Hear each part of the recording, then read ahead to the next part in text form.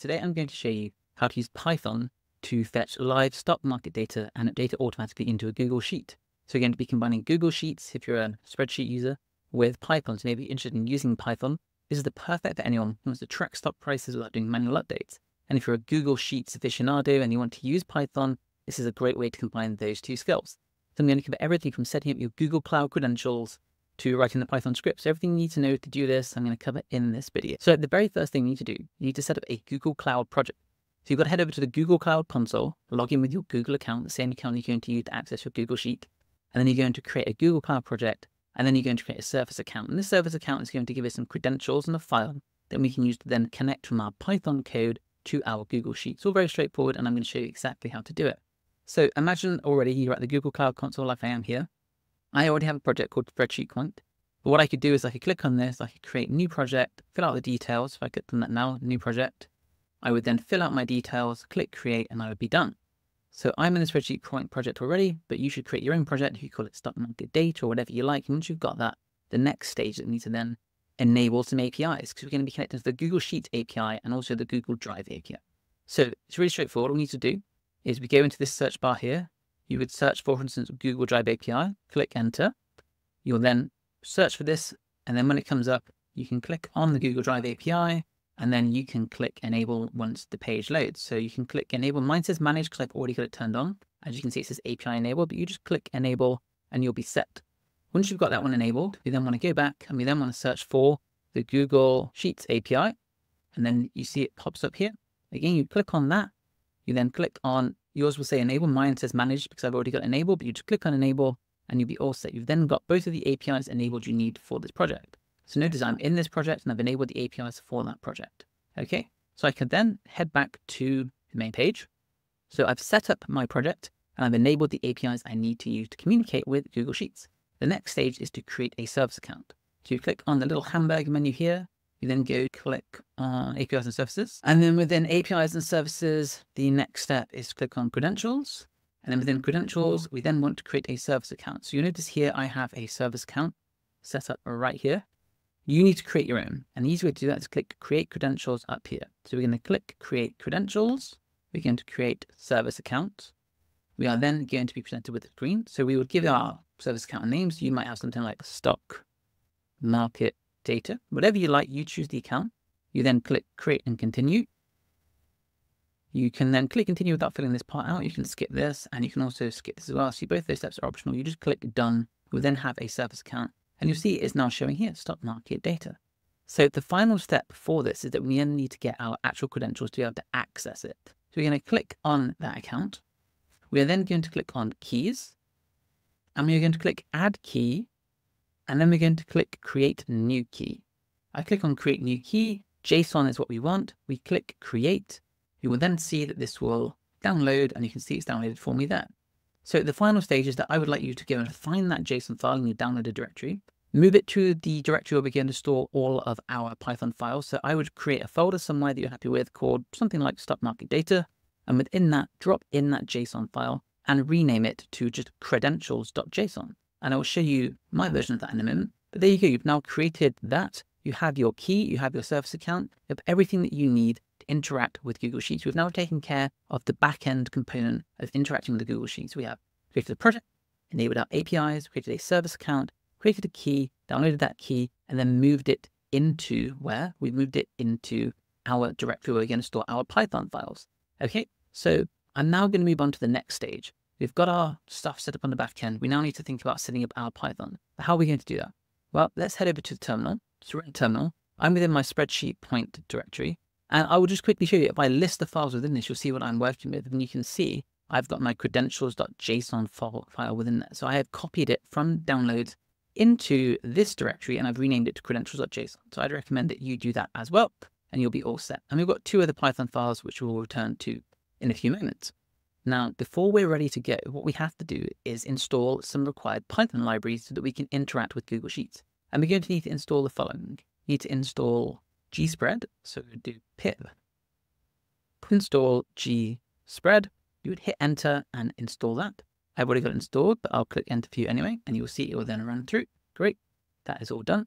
The next thing you need to install is OAuth to client. So oh, OAuth to client. Again, I've got this installed, but I'll run through it with you just for the purposes of this demonstration. And then finally, we want to pip install Y Finance. This is Yahoo Finance. We're going to be using Y Finance to fetch this stock market data. Again, hit enter, all done. So everything was already there for me. For you, if you're installing these for the first time, it might take a bit longer because it has to find and download and install those libraries.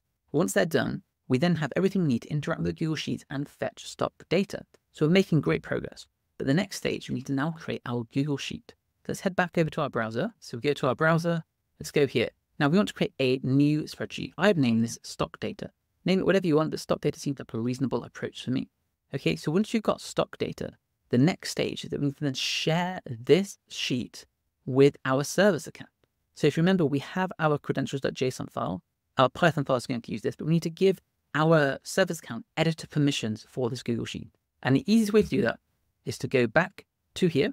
We're going to go back to the Google console. We're going to go to here. We're going to look at our credentials. And I'm going to scroll down and look at this email. So I've got two here. I could use either. So I'll use this one just for argument's sake. And what do I want? I want to copy this email. So this email address is going to be the email address I am going to give permissions to, to be able to access my Google spreadsheet. So I go to Google Sheets. I click share. I then enter the person. There you go, spreadsheet point. I'm making it an editor. Okay, so notice that spreadsheet point at spreadsheet point. This is the long email address you just saw on the Google Cloud Console. I click, click share. Yes, I want to share anyway. It's an external account. That's fine for me. And once that's gone through, updated the access, my service account is now able to interact with this specific sheet. So if let me create a new sheet, you have to do the same process. So I'm interacting with this stock data sheet. I have linked it to my service account. So I am now making great progress. The final stage is to now move on to actually writing the Python code. So we have our Google Sheet. We have our credentials JSON files I showed you within our directory. Now let's move over to VS Code. So I'm going to use Visual Studio Code for coding in Python. Um, use whatever you like, but I'd highly recommend using VS Code. And I'd also recommend checking out um, any extension you need to use it. If you're brand new to using VS Code, make sure you install Python, otherwise this won't work. And of course, make sure you've got Python installed, you've installed those libraries, you're in Visual Studio Code, you're making great strides. The next bit is that I want to do two things. First of all, I'm going to test the connection. I want to test the connection between my Python script and my Google Sheet. So remember, I have my credentials JSON file. So if I were to go here, you can see there's my credentials JSON file. It's within my directory. Okay. Now I have written out this file in advance. I'm going to walk you through it. We've got some imports here. So we're importing gspread and we're importing this particular part of this. Okay. So we've got our service account credentials part from OAuth to client. All right. Next, we need to define our scope. This is just a Python list with two values. We've got spreadsheets.google.com forward slash feeds and googleapis.com forward slash auth forward slash drive. So just copy these in exactly as I have here. And if you're new to Python, you're new to lists, this might seem a bit intimidating, but all it is, is it's a square bracket opening and closing. We've got a string enclosed in double quotes and a comma separating the two values. So I've got my first value, which is spreadsheetpoint.com, excuse me, spreadsheets.google.com forward slash feeds. Then I've got my second value, which is googleapis.com forward slash auth forward slash drive. Okay. So that's the scope variable. Now, the next thing you need to do is you need to authenticate using the JSON key file I mentioned. So again, we've got this credentials.json file, and we're going to use this. So we're going to create a variable called credentials. We're going to use this service account credentials import here. We're going to use the from JSON key file name method. And within that, we're going to pass in two parameters. We've got credentials.json. Now that is relating to this file. Okay, that's the path to that file. And then the scope variable, which we've defined up here. Okay, this may not make all the most sense, but you just follow this exactly and it will work for you. And if you want to know more, just dive deeper into the documentation and you'll learn everything you need to know. But essentially all we're doing here is we're setting up the ability for our Python code to interact properly with our Google Sheet. Okay, finally, we're going to create our client variable. We can use the gspread library, and we're going to use the authorize method, and we're going to pass in our credentials variable you can see it's just a three-step process to essentially create a client which has the authorization and the credentials to interact with Google Sheets. The final stage is to then create another variable, which is sheet. We can use the client.open method, and we're going to pass in here. This is very important to pass in exactly the name of our sheet. So notice I called mine stock data. So I put in stock data. If you put in something else, make sure you change this to match what you've put in. And I'm using sheet one, that is the initial default sheet within that. So again, if you're on a different spreadsheet name, within a different sheet within that, be sure to change these to match, okay? So replace it with your own or just follow along exactly as I'm doing. And this is a very simple example. All I'm going to do is update the very first cell with hello world. This is like a hello world test for interacting with Python and Google Sheets. And I'm also going to print out to the terminal the sheet updated successfully once it's done. So all I need to do is run this code and then I can check my Google Sheets to see if it's worked. So imagine I'm to go back to my terminal and I'm going to simply run this code. So I would run Python and I would use test, hit enter, and what do we expect to see? Sheet updated successfully. Fantastic. So everything has worked as we'd expect. Now, how do we verify that? Well, we go back over to our sheet and what do we see? Hello world in the first cell. So it has worked. We've run our test and it successfully connected to our Google Sheet and updated the information. So great, we have a working connection. Excellent. We've run the file that we've created within Python you create that Python file, which was just test.py. So again, if you're new to Python, you might not be familiar with the idea of how Python filing works, but essentially every Python file is a .py extension. So this is test.py. You could copy this exactly, ensure you've got your credentials JSON file in place, and it will work. So we have now verified that we are able to communicate with our sheet. The final stage is actually fetch and update stock data. Okay, so what we're going to do is use a lot of what we've got here, but we're going to expand it a little bit to interact with YFinance to fetch stock data. So let's go to our fetch stockdata.py file and have a look at what's going on there. So here you go. You see we've got the same two imports, but we've also got importing YFinance as YF, just to make it a bit shorter, a bit neater. So the scope is unchanged. All of this is unchanged. If you look at this, this is no different to what we had in our test, okay? Set up our scope, our credentials, and our client using our credentials and scope. Nothing has changed. You should be familiar with this already. The next part again, is unchanged. We've got our sheet, and for me, it's still stock data and it's still sheet one. So I've put everything there that I want it to be. Now, what's the next step? This is the new part. We're fetching stock data. And I've begun with a ticker variable and I passed in this ticker, which is actually for Apple. And what I am then doing is I'm using the YF import here and their ticker object to fetch this ticker. So I'm going to create my own ticker object using this variable. And what I'm doing is essentially I'm returning all this information from Yahoo Finance. I have this object and then I can use this object to extract information. So imagine it's like I've said to Yahoo Finance, give me everything you've got about Apple. It's sent back this information and I am wrapping it up in this stock object. Okay. Now, the final part is to fetch information from there. So something that I want, for instance, is current price. So I'm going to focus just today on fetching the current price of this stock. And I'm using the info within stock and I'm using the get method because this is a dictionary. Now I could use indexing with dictionaries as you would normally. I could use square brackets and put in the name of the key. What I'm doing here is I'm using the get method instead because I can ask for current price, but it's not there, I can add NA if it's missing. So this is a nice way to ensure that there is something missing. Our code doesn't fail, it handles it gracefully. You could do it differently if you want to do. For instance, I could write out the following. If I just copy this, if I wanted, I could, instead of doing that, I could get rid of that and I could type in the following and that would return what I want. But the reason I'm not doing that is because in case it's not there, it's going to fail. So I'm using the get method with that NA backup, okay? So that's what we're doing there. Now, once I've done that, I'm then using the update method for my sheet value that I've created here. Remember, I've created the sheet variable for my stock data sheet on Google Sheets.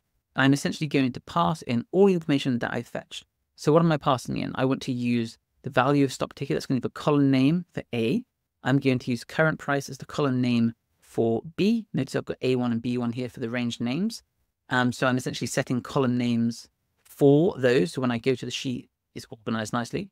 The next bit is I want to update the values using the ticker, and I'm using the range name, which equals A2. Okay. And then I'm going to update the current price using the current price that I have here. So essentially what I'm doing is I'm creating a sheet with two columns, stock, ticker, and current price. And within stock ticker, of course, I want to pass in this, which is ticker, which is the name of the stock. So it's going to be the Apple name here. And then I want to pass in the current price, which I've fetched from my stock object. Okay. So I'm literally just creating a variable for AAPL, which is the Apple stock name. And I am then creating an object for stock. And I am then getting the current price and assigning that to my variable current price. And I'm simply passing that to my sheet and updating all. Does that make sense? I hope it does. So essentially, I'm just asking Yahoo Finance to give me everything it's got about the Apple stock. I'm extracting the current price from what it has there and then passing this information along with some column labels to my Google Sheet and it should reflect everything within there. So I make sure this is saved and the only thing left to do is to run this file. So I'm going to go back to the terminal and I can simply then Python fetch stockdata.py. And what we're hoping to see is this will fetch the information, update our sheet and show it all in there when we give it the sheet. So I'm going to hit enter now. We can wait a moment for it to do it. So obviously it's, direct, it's directly interacting with an API. So there's sometimes a delay while it's doing this. So it's interacting with the Yahoo Finance API. It's fetching that data. Once it's returned, the Python code yourself will run through it very quickly. But this delay is purely interacting with the Yahoo Finance API. And as you can see, it says the stock data was updated successfully. So how do we prove that? Let's head on back to our Google Sheet. And what do we see? Exactly what we'd expect to see. Two column labels, stock ticker and current price with the ticker name and the current price, and that will be in dollars. And there you go. You have now created your own API fetching Python script, which will interact with Yahoo Finance, collect data on stocks, and update it into your own Google Sheet. Now, of course, the possibilities are endless here. I have shown you the basic framework with which to be able to set this up for yourself. Maybe you want to do more complicated things with the data you collect from Yahoo Finance. Maybe you want to collect a range of stocks and do different things with it. Maybe you want to look at prices over time, create trends. Maybe you want to do different financial analyses or data analysis with this. Whatever you want to do, that's entirely up to you. But what I hope you have now are the skills to be able to create a Python script that interacts with the Yahoo Finance API, collects that data, processes that data, and then sends it to a Google Sheet. And you are connecting to your Google Sheet by having created your own service account on Google Cloud Console with credentials, which you are using within your Python script, and you have enabled APIs to be able to communicate with the APIs for Google Sheets and Google Drive. So it's a very straightforward process once you've wrapped your head around it. There's a few different elements at play, but if you're unsure about any of it, just go back through the video, take your time. You should be able to replicate everything I've done exactly. And then using this code as the framework, as the foundation, you can make any of the changes that you need and you can get as creative as you need. Of course, the spreadsheet point we have all sorts of extra helpful content and how to work with Google Sheets. If there's more you want to do there, maybe you want to create plots, maybe you want to do more formatting, use templates, whatever it is that you want to do, Spreadsheet Point has covered it. But hopefully today this is showing you how you can extend your basically your Excel or spreadsheet prowess and take it and pair it up with Python to become even more skilled in using cloud-based spreadsheets. And of course, Python is a really friendly and easy to use language for beginners. So hopefully you found this a fairly friendly intro into a very powerful language and doing something that's really essentially incredibly useful. So I hope you've enjoyed this video um, and I can't wait to see you in the next one. And by all means, feel free to leave comments or any questions you have about how to complete this process yourself. And as I say, have fun, play around, do what you need to do. And I can't wait to see what you guys have to say about how you found this project. See you next time.